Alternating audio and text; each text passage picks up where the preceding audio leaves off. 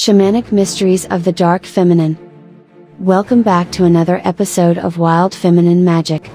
Make sure to subscribe to the channel. Let's get into the video. The dark feminine often takes the form of an old woman, wrapped in a black cape or shawl. Sometimes she takes the form of a magical raven announcing death, or the owl shrieking in the night. She descends at night, like lightning and her voice leads you into the mysteries. Come with me, she says. Death is only the beginning on the pathway of the soul. She is the pathway through the vast labyrinth of pathways and mirrors, she can guide the soul as she chooses. In Avalon, she can part the mist to the other world. As the Morrigan she is storm clouds and thunder, the hag screaming for the dead. As Lilith, she is the primal feminine energy, pure, raw, wild and free. The dark feminine sees death as initiation. Death of one form to another. Without her energy, we cannot know the soul's secrets of alchemy and transformation. And so the dark goddess carries us into her black cave to rebirth our soul. Most people fear the presence of the dark feminine because her presence foretells death, change, growth and renewal. She is the doorway, a portal of laying karmas to rest, ending a phase of life, ending an identity or transmuting fears and complexes. She is the process of purification and cleansing. Death. But it is only the beginning of a new life. As a seer and teacher of mages, she is the bird goddess who sees all. Owls too have been used as a way to see through the dark as the crone sees all. As a teacher, she presides over initiations. Initiation is the simulation of death, and new life. In the initiatory process, it is the death of the soul and one must experience disintegration before reintegration. Initiations transform people and are sometimes painful but they bring them to the awareness of deeper layers of vision, intuition and authentic soul self. As Black Goddess of Initiation, some choose to enter her cave and cauldron, to gain the wisdom that is there. It is a dangerous path, for there is a chance of destruction of the old self and old life. But the Black Goddess has wisdom of the pathways of life and death, and from the dark cauldron of human fears and needs, and from the process of transformation itself, comes the light of wisdom. In descending to the underworld, we are seeking something valuable in the underworld. There's even a word for this experience, chthonic, concerning, belonging to, or inhabiting the underworld. Chthonic, of or relating to earth, particularly the underworld.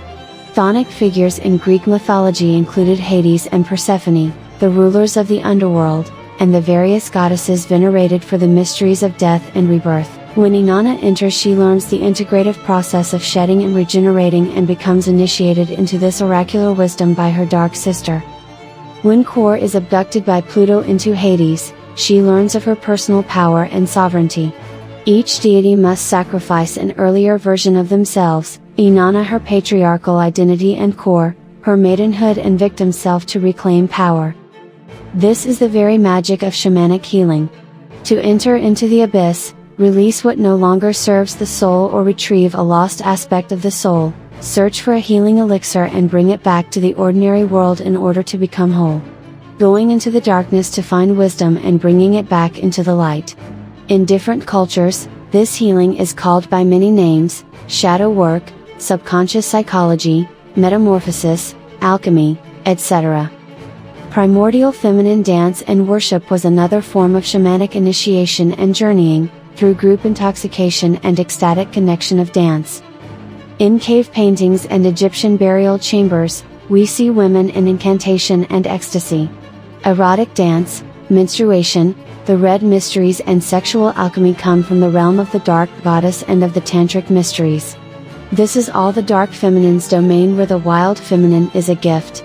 Our body is a gift, a vessel and pathway for divine knowledge through and into the world oracles or prophecies delivered when the inquirer slept in a sacred site and received an answer in a dream, were believed to come from Chthonian powers. In the symbolism and iconography of Chthonic deities, snakes are often associated with such deities in world mythology, thus, divinities are often portrayed entwined with serpents. Impressive images of dancing women can be found on ancient Egyptian wall paintings. The Egyptians were religious people who were very oriented towards rebirth of the soul and its afterlife. In world history the ancient Egyptians dealt intensely with death and at the same time lived in a way that affirmed life, love and body. In ancient Egypt, dance played a major role in religious cult and secular festivals. On some forest paintings you can still see dancers in the Egyptian burial chambers and the instruments used for the accompanying music, sistrum, flute, Turkish zil and tabla. The famous dance of Salome or Dance of the Seven Veils is taken from Sumeria where high priestesses and priestesses enacted the dance of Inanna descending to meet her dark sister Ereshkigal. The dance has been popularized and erotized but in its original form it is a form of worship. The Sumerians worshipped Venus and the Venusian cycle. They honored the path of Venus and when she rose as the bright morning star and they honored her evening star aspect. Bright Venus represents our life-giving qualities and dark Venus represents our subconscious nature. As Venus followed this path to wholeness, so too did priestesses and oracles of the ancient world. There was shamanic dance in Paleolithic times. Deep Paleolithic caves, we find sacred circles made with stones and in them the traces of human feet that danced around and around. Cave paintings show the shaman dancing in animal skins and antler headdress, the footmarks on the cave floors reveal generations of ritual dancing by all, women, men, children.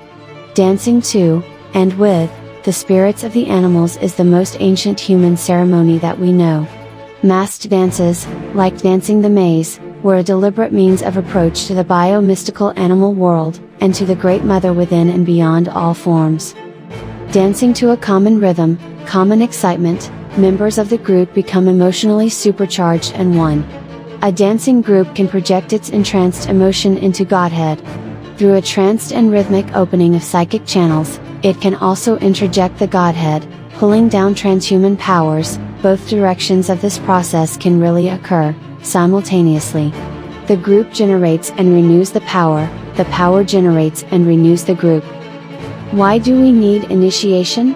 The supreme feminine wisdom of the dark feminine has not been accepted on a collective level and this is the reason much of feminine consciousness is stagnant and not reaching wholeness and totality. When we become initiated through the dark feminine and all her supreme wisdom and mysteries, we receive access to the deepest parts of ourselves, whether we are lost, broken, confused or abandoned, this initiation leads us on our soul path and our journey home to wholeness. That brings us to the end of today's video all about shamanic mysteries of the dark feminine. If you enjoyed this episode, remember to leave a thumbs up and to subscribe to Wild Feminine Magick for even more fascinating content, just like this. As always, thanks for watching. See you again soon in the next one.